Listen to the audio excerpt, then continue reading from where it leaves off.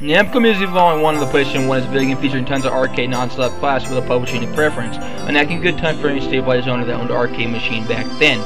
Coin select, some fun experiment, Galaga, Pac-Man, and so on, even Centipede, a great slithering party for any two-player arcade lovers, and Studio Tour is pretty cool, to decently slap in the partial face. I give this game a 9.0 slash 10.